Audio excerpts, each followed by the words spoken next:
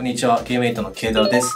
本日は、モンパス会員特典星6限定ガチャを引いていこうと思います。ということで、今日でモンパス会員になってから6ヶ月なんですよ。なので、3ヶ月特典の星6確定ガチャ2回目ですね。今回2回目引きたいと思います。これ、提供割合見ると、星6 100%という風になっております。詳細を見ますと、はい。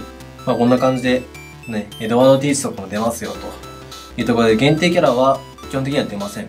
ワクワクの実なんですけども、特級以上がついてます。なので、ワンチャン特 L が出る可能性もあります。というところで引きたいと思うんですけども、まあ、狙い目はやっぱり、イケメンキャラたちですね。安定のゲーテ、ヘラクレス。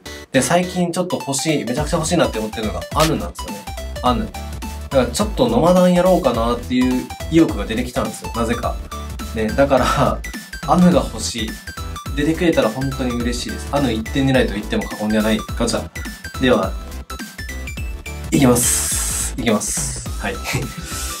いきます。3ヶ月に1回。だから、えっ、と、1年で4回しか引けないガチャですね。いきます。頼みます。確定とかないでしょ。はい。取れてる。OK です。ストライクショット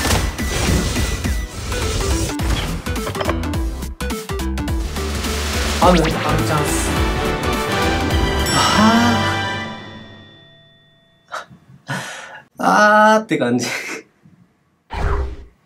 ユグドラシルかー。ユグちゃんね。はい。ワクワクの実は、毒が。いやー、マジか。反応に困るやつ、これ。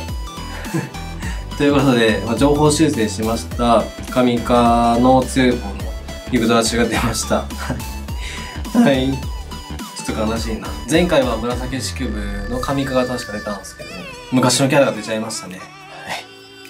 ということで、まあ今回は終わりたいと思います。まあこんなもんですね。はい。よかったら皆さんも何当たったか教えてください。ご視聴ありがとうございました。チャンネル登録と Twitter のフォローお待ちしております。悲しみのバイバイ。